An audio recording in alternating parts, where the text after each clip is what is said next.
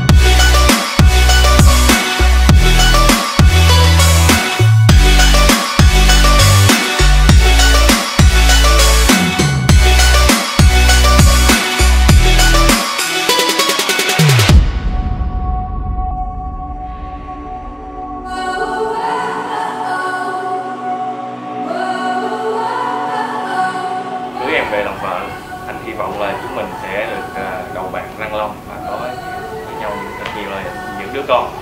À, anh yêu em rất nhiều.